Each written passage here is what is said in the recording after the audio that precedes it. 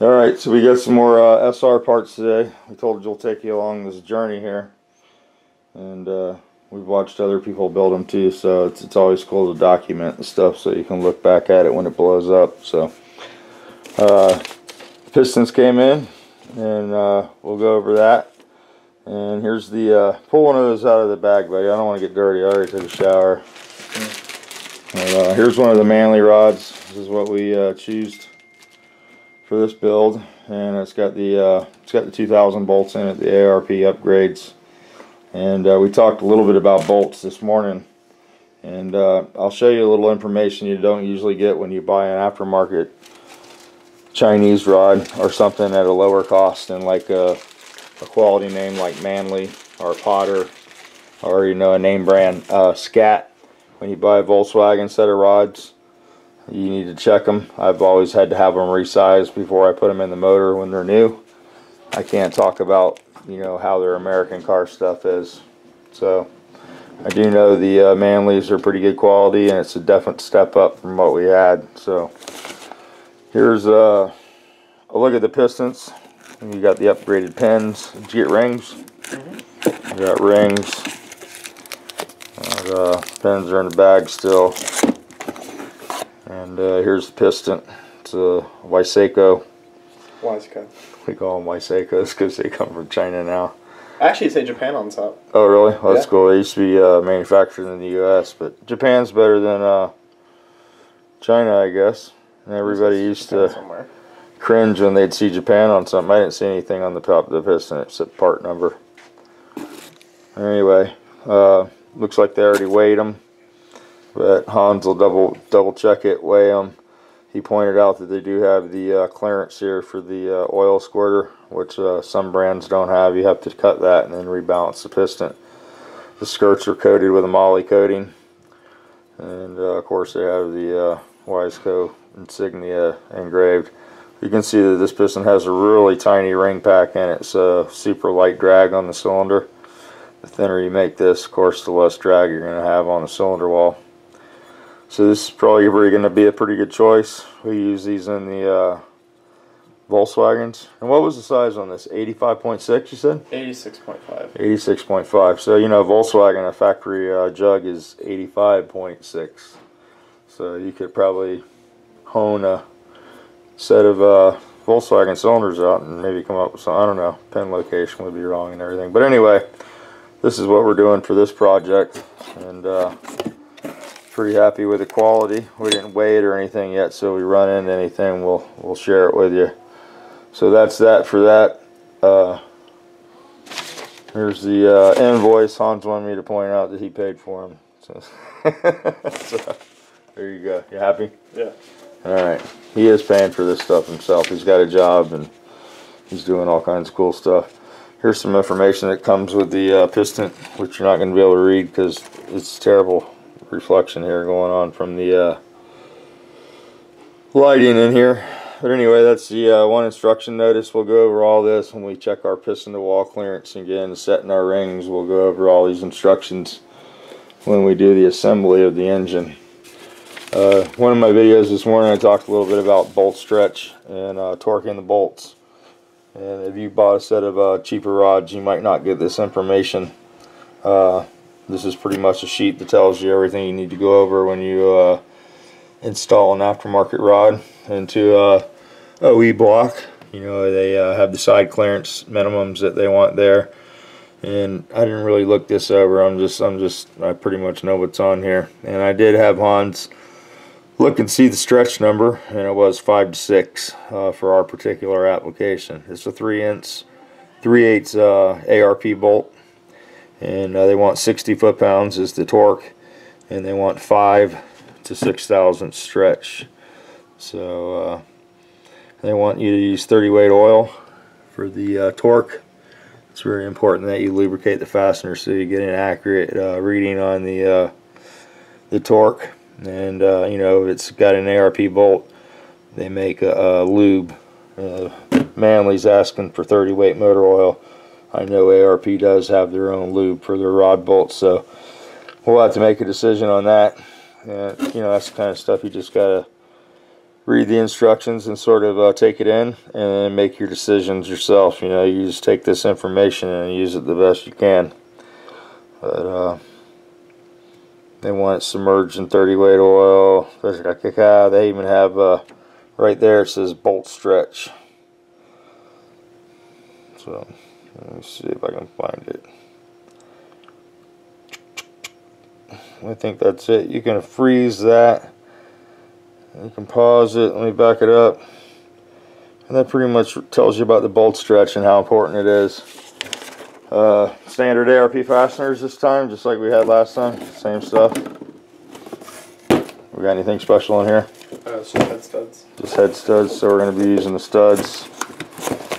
When you put these studs, see the stud kit here comes with uh, instructions. A lot of guys like to torque these down in the block. You don't never do that. It's finger tight into the block. You know, you don't want to torque it down into the block. But uh, pretty standard. It's got washers, got stud kit, and then here's the uh, fastener assembly lubricant that I was talking about when we were looking at the Manley instructions. But, uh, so that's that. I don't know if you bought these or not. Did you buy these? They're on that too, he says. Okay. What do we got here? Anything good? Uh, Coated bearings, right? yeah. So we need to uh, we need to assemble a rod bearing in one of the rods, and uh, we're gonna check the uh, rod to uh, bearing clearance. And Hans is gonna do all this this time himself. He's uh, quite capable of it. He knows what to check for. And what I would recommend if you're gonna build a motor like this and spend this kind of money, get a blank piece of paper and take notes. Uh, you know, when I build a Volkswagen motor. I don't get billed. I don't usually charge to take notes on a stalker. Uh, you know, most of the clearances are pretty much factory. But when you build a motor like this, you're going to have clearances that aren't factory setting. So it's good to document each setting. That way, when you take the motor apart, you can measure how much wear you have. Or if it works really good, you have a good sheet, good starting point for your next project. So Good thing to note is that uh, Wiseco and Manley both don't come with warranties. If you fuck it up, you eat it. Well, it's a performance part. So, I mean, so you know, there we go. We got the block taped off for some reason, but we're gonna have to uh, either paint that or untape it so we can do the uh, measurements we need to do. And we're gonna have to install the crank in there. That's all you got new thrust bearings for the crank and uh, the Tomei head gasket. You guys have already seen. Anthony was saying there's a way to cheat the uh, timing with the duty cycle on the injectors. But I think we've already reached the duty cycle of that injector, so we're yeah, we're going to 1000 cc's instead So- of 400. so we're gonna bump the injector size up double. So we'll have a bigger window. Our window is just so narrow on the tune before there was really not much tuning at all to it. So gonna try to make it more tunable and uh, make it live. If it blows up this time, it'll be from horsepower, you know, not from a improper tune up. Oh, break the transmission first. And then uh, we still got to get a boost controller probably. We're gonna do that and stuff like that. But uh, Needs accessories. The block is done. the block's done. Yeah, I got the crank, got the rods, got the pistons, got the rings. So we can build a short block now. hmm So anyway, that's the update. I don't know what we're doing with the. Uh, he needs to take this apart on the floor. He said he was going to take that apart. So while I'm semi-healthy and happy right now, I can port that and finish that. And we might get an aftermarket plenum for it. I don't know how available are those. Not Well, no, it just works good. just works good. We'll go ahead and just port that, clean it up, match it to the throttle body, and just basically blueprint that. Then You know what fits on that really good? It's a Mustang throttle body. yeah. Yeah. Well, you might need that with thousand cc injectors. You know, you're gonna have to get some more air moving in the motor for sure. So anyway, there's our uh, cylinder head. So still haven't got any. Uh, what are we doing with this? We're gonna do the stock valves, Stock resize them. Unless I don't. Springs. We got to at least buy springs because they were the, the springs were shitty. So there we go. We got the uh, flywheel. This is, is this one we're using here. This probably needs to get the assembly. Uh, you need to measure the uh, rods and pistons together with the ring packs and record the weight. And then you can take the crankshaft, pressure plate, the flywheel, and the bob weight which means the crank or the uh, rods and piston combination, and we can have it balanced because this is a new flywheel and aftermarket. Yeah, it's a, I think ZD 14 ton flywheel. Yeah, so we need to have the assembly balanced with the uh, piston and rod combination and this being new to the crankshaft. Mazworks does all kinds of fancy Maz works. So that's important too. You know, if you're going to interchange all these uh, parts, you know, you're going to go with an aftermarket flywheel and then aftermarket pistons and rods.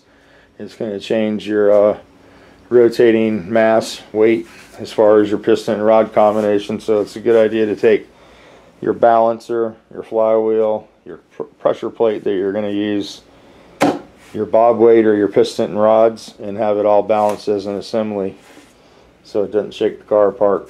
Uh, you know, you could probably put it all together and have good luck with it. So I'm sure there's guys have done it. So we're going to balance this one because it's seventy-five dollars to balance the motor. I think it's not much. Yeah. So anyway, Yeah, I think Mazworks balances up to like 12,000 RPM. yeah, we won't be turning. Well, maybe ten. I don't know. Maybe not 10. ten, probably. Anyway, there's another look at the head. Some guys that haven't looked at it, I'm gonna let Hans title this one because I'm sure I've been titling the videos improperly. Yeah, there's not a space between SR and 20. It's one thing. Well, you can go in and correct that stuff. You can edit the channel anytime you want. Yeah, I'm lazy. But anyway, there you go. That's what we're gonna start with. I think it looks pretty good. I mean, you know, I think it looks nice. You could pay for shittier. Trust me. We've seen some stuff.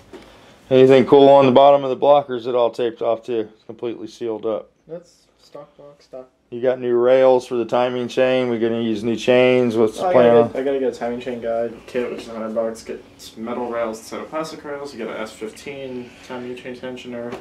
And the chain doesn't change, it just gets newer. So we're not using any of the old bullshit on Yeah, that it's all broken. It's all broken. Yeah, when parts stop the motor, it, it hurts stuff. Yeah. The only thing I might reuse at first is cams. There's our old uh, Yeah, you're all- exhaust manifold. Now this didn't work out too good for us because the uh, quality of the metal is not very good, and it kept losing the studs. Well, yeah, and also, um, the great guys at eBay made the runners too short in the middle, so you can't actually get bolts in there. Yeah, so this thing was a constant pain in the ass, and uh, you know it pissed him off so bad that he just ended up welding the uh, wastegate to the manifold. So that's useless. Yeah. Uh, you know, you consult somebody else, I guess, and aggravate them with it. it the, the wastegate still operates, believe it or not, it works fine. But yeah, it uh, kept falling apart. sucks because I could use that off, off the little streetcar. Uh, another question: We looked at the header earlier in another video, and uh, the new header is it a top mount or a bottom mount? Yeah, it's a top mount. This Just sits back. right. Yeah, this sits right next to the valve cover actually, so you can't get a big turbo on it. Like that wouldn't fit. It hit the valve cover. So this gets moved over here. So it's not going to be next to the brake booster. That was the problem with this and the turbo housing. Yeah, this is so you can put a three-inch downpipe on it and make a lot of horsepower. there you go. Yep. Eventually, I mean, we'd like to use that TO4. I know it doesn't look pretty, but it's hauled ass on my bug. It's been it's been 11 flat, 1090, you know, 130, 40 miles an hour. Basically, the new exhaust manifold says "fuck accessories, make horsepower." So no power steering, no AC. Well, you got to drive it. I don't. Oh, okay. Anyway, that's where we're at. I'll go ahead and shut this off. We'll upload it. There's the thrust bearings. And uh, we'll update you when we get something else going here. And uh, when he starts the blueprinting process, when he gets that painted or untaped, we'll uh, start doing the journal. We'll show you what to record. And uh, we'll record it together. So if you guys are doing this for the first time, you can uh, have a little starting point. You know, we've already blown one up, so. They only make so much power from the factory, and they're really good. If you're gonna buy one of these and you don't mess with it, it's really good motor, right? They make 190 to 220 stock. So when you start making 350, 400, the rod's gonna come out of it, and you're gonna have bad stuff. And because at that point you're really uh, you're cheating the wiring harness. You're trying to cheat the injectors to run full blast. Yeah, actually, one of the things that you have to change is you have to get a new mass airflow sensor because the stock one is off a single cam motor that's made in the States. This is off a twin turbo 300 ZX. Okay. So it's uh, it's like an inch wider There we go. The whole you know more airflow thing. and it's for more horsepower. So And then when you make more horsepower and want to be reliable, you change things like this. The stock pickup doesn't have the slots cut in the side of it, so it oil stars if you have it sideways. So like if you really want to make work make it work good, is you drill holes in the side of this too. Yeah, well, we need to modify that. The problem is, is it's got a screen in it, so when you modify it, it's got to be really careful to get all the debris out of it. And uh, that's something that we'll have to think about how to do. You know, maybe put air in here while you're drilling the hole so it's blowing out. can always just punch it too.